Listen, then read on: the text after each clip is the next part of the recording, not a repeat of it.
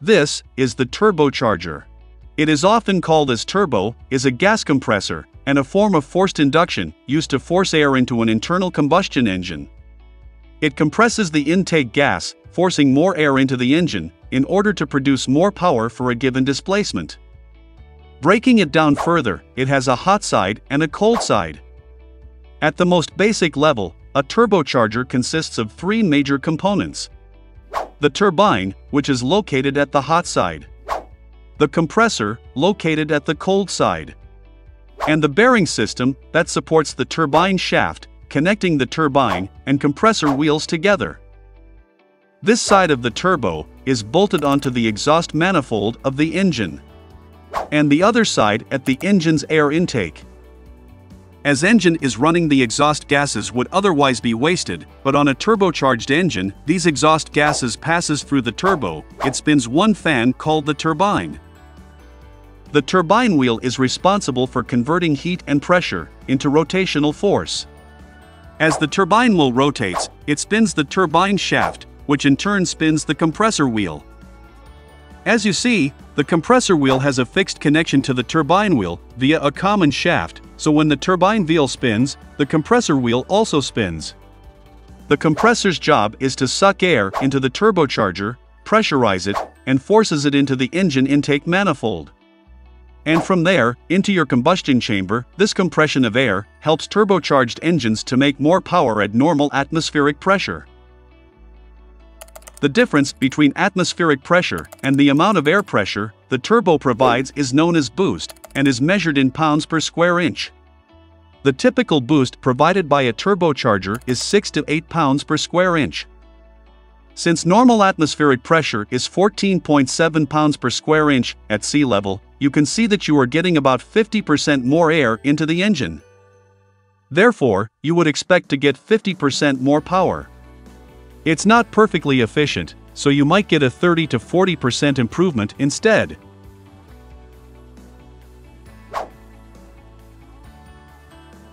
One way to get more power out of an engine is to increase the amount of air and fuel that it can burn. You can do this by adding more cylinders or make the current cylinders bigger. Sometimes these changes may not be achievable, a turbo can be a simpler, more compact way to add power to your engine. For decades, turbochargers were prized for their ability to boost horsepower, making them popular for race or high-performance sports cars. But modern turbos can also increase fuel economy and horsepower, making smaller engines more efficient and capable of highway speeds. Other main component of turbocharger are a wastegate, intercooler, bearing system, and oil supply. The wastegate is a valve that controls the amount of exhaust gases that flow through the turbine. It is used to regulate the boost pressure and prevent the turbocharger from overspeeding. An intercooler is used to cool the compressed air coming from the compressor before it enters the engine. This helps to increase the density of the air, which results in more oxygen available for combustion and more power from the engine. Oil supply and drain turbocharger needs lubrication and cooling, therefore it is connected to the engine's oil supply system to provide lubrication and cooling to the bearings and shaft. Also, it has a drain system to remove the oil that has circulated through the turbo. The bearing system is a set of bearings that support the shaft and allow it to rotate smoothly and efficiently. It also helps to maintain the proper operating conditions for the turbocharger. Before the invention of the turbocharger, forced induction was only possible using mechanically powered superchargers.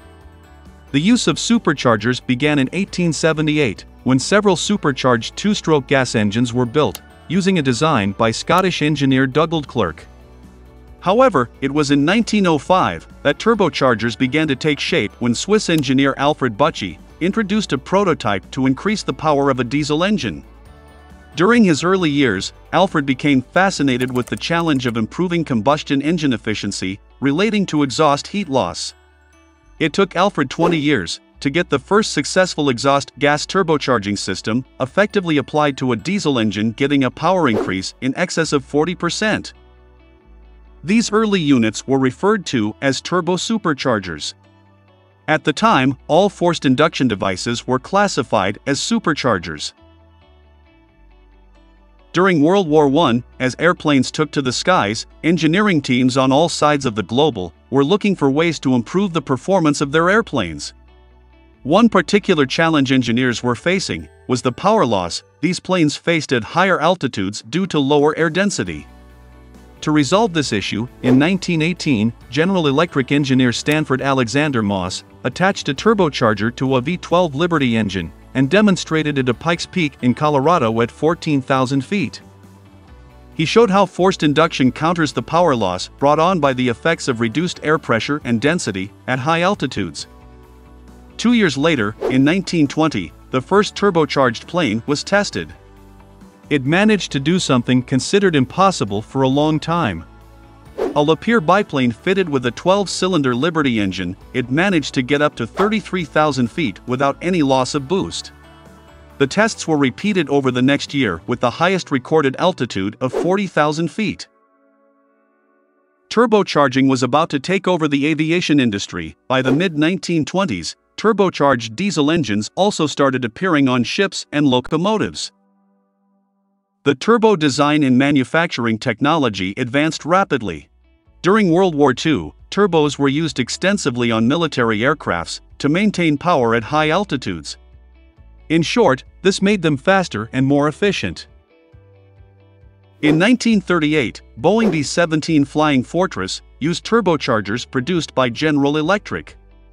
Other early turbocharged airplanes included the consolidated B-24 Liberator, Lockheed P-38 Lightning, Republic P-47 Thunderbolt, and experimental variants of the Focke-Wulf FW-190. In 1938, the first automotive use of the turbocharger was by Swiss manufacturer Saurer on a diesel truck engine. Although many experiments were made to fit a turbo on cars, but none were really successful, and didn't do it to any sort of mass production until 1962, when General Motors introduced the Oldsmobile Jetfire, and the Chevrolet Corvair Monza Spyder, the world's first turbocharged cars. The Oldsmobile Jetfire has a 3.5-liter, 8-cylinder engine, which works together with the turbocharger. The 8-cylinder engine, in the Power Pack version was able to develop 185 horsepower, but for the Oldsmobile engineers, these parameters only seemed satisfactory, so then they put in a turbocharger, and increased the engine efficiency by as much as 40%, to 215 horsepower. And to top it off, they managed to do this without affecting engine durability or fuel economy. The Oldsmobile Jetfire was undeniably ahead of its time, even if its buyers weren't.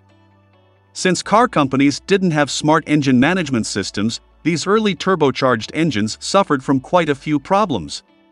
For one, they were overly complicated. The engine in the Jetfire had a second tank, that owners needed to fill up with a turbo rocket fluid, it is the mixture of methyl alcohol and distilled water. To avoid engine knock, this solution needed to be sprayed into the intake airstream. As you can probably imagine, however, many people would forget that this tank existed and needed to be refilled. If an inattentive driver failed to keep the reservoir filled and the fluid ran out, the car would shut off the turbocharger. This resulted in driver complaints about their sporty cars losing power. Early turbocharged engines also suffered heavily from turbo lag, then the company decided to remove the turbo system from the Jetfire, in free of charge. In 1973, the oil crisis brings on new awareness of fuel reduction, and turbocharging technology had evolved enough to make inroads within the commercial diesel market. In 1975, Porsche decided to introduce their first ever turbocharged car, the 911 Turbo. It has a 3.0 liter engine, producing 276 brake horsepower.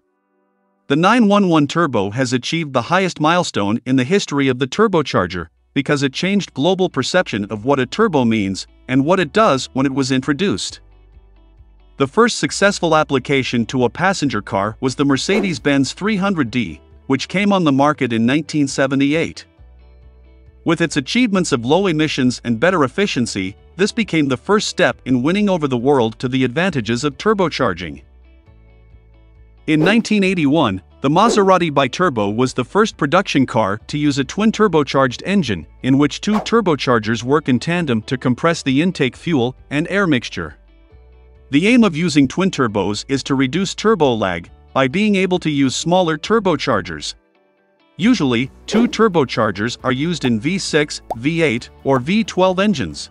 Using one turbocharger for each bank of cylinders has several packaging and efficiency advantages. A single turbocharger is sufficient for most four-cylinder engines, at times, it is used in V6 and inline-6 engines too. Twin-turbo engines design has two turbochargers of different sizes. A smaller turbocharger works with lower exhaust flow and supplies more power at lower rev rates. As you accelerate, a second larger turbocharger builds more power with a compression valve that allows the larger turbine to create more power at a higher rev rate. The biturbo has two parallel turbochargers of the same size. Each turbocharger is assigned to a single bank of the engine, with the exhaust gases divided equally by the two turbocharges. Bugatti even used a setup with four sequential turbochargers on a W16 engine. Although new innovative turbo technologies were introduced, such as twin-scroll turbo and variable geometry turbos, both designed to reduce the dreaded turbo lag. In twin-scroll turbocharger the scroll is a spiral path that the exhaust gases take when they enter the turbine section.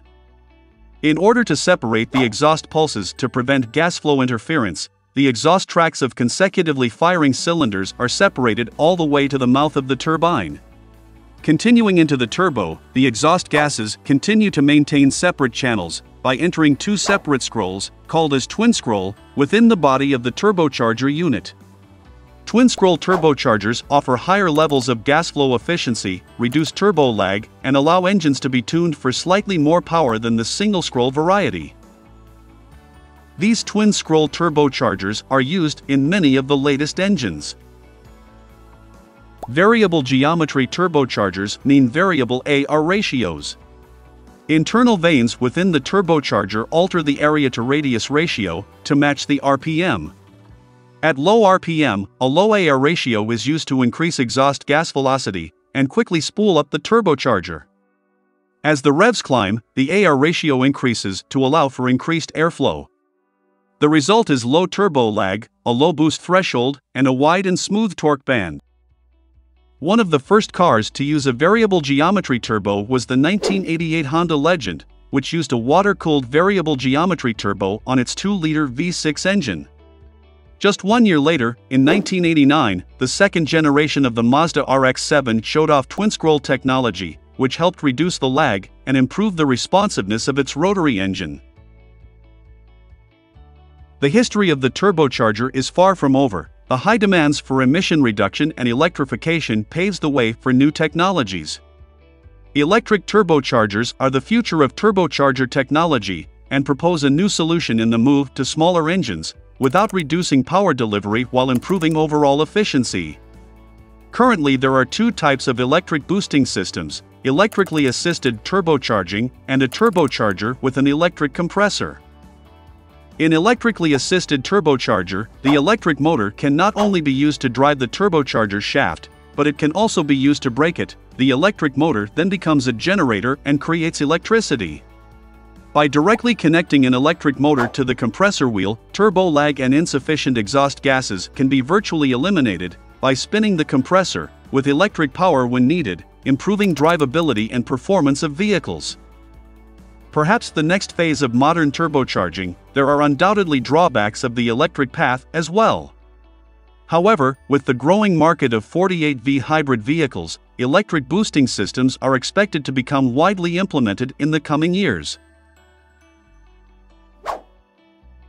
Turbochargers are generally more efficient than superchargers because they use the energy from the exhaust gases that would otherwise be wasted. This means that turbocharged engines can produce more power from a smaller displacement engine.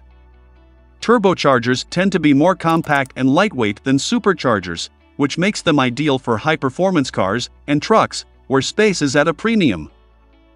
The turbine wheel and a shaft connecting it to the engine are all the hardware that a turbocharger uses. A supercharger on the other hand needs pulleys, belts, and gears to run. Turbochargers are generally less expensive than superchargers, especially in larger engines. Vehicle powered by a turbocharger will be more fuel efficient than a supercharger. Turbocharged engines generally produce lower emissions than supercharged engines. Turbo lag is a common problem faced by turbocharged engines. In a turbo lag, the turbocharger takes longer to build up sufficient pressure in the combustion chamber to operate the engine when you press the gas pedal.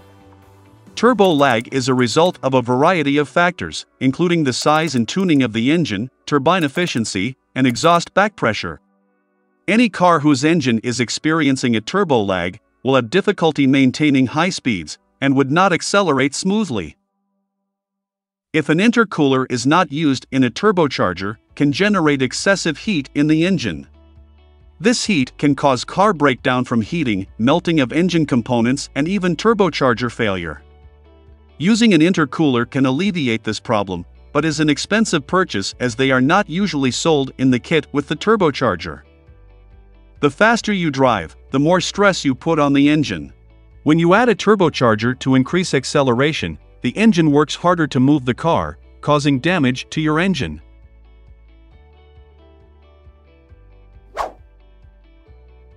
In summary, a single turbocharger is the most basic type, and it is typically used in small to medium-sized engines. It is simple, reliable, and cost-effective. A twin turbocharger system uses two turbochargers. This type of turbocharging is typically used in larger engines and can provide more power and torque than a single turbocharger. Twin-scroll turbochargers have two separate scroll chambers that allow for better exhaust gas flow and reduce turbo lag. They are typically found in larger engines and provide improved performance and efficiency. A variable geometry turbocharger uses a set of vanes that can be adjusted to change the angle of the turbine and compressor wheels. VGTs are commonly used in diesel engines and larger engines. Electric turbochargers use an electric motor to spin the turbine, rather than exhaust gases. This allows for instant boost and eliminates turbo lag, making them ideal for high-performance cars and trucks. These are still in the early stages of development and not widely available yet. It's important to note that the type of turbocharger that is best for your car will depend on the specific make, model, and year of your car, as well as your driving needs and preferences. The best way to determine which type of turbocharger is best for your car is to consult with a qualified mechanic or a dealership who can give you more specific information on the options that are available for your car. Thanks for tuning in to our video on turbochargers, we hope you learned something new and found it informative. If you have any questions or comments, feel free to leave them below. Until next time, drive safely.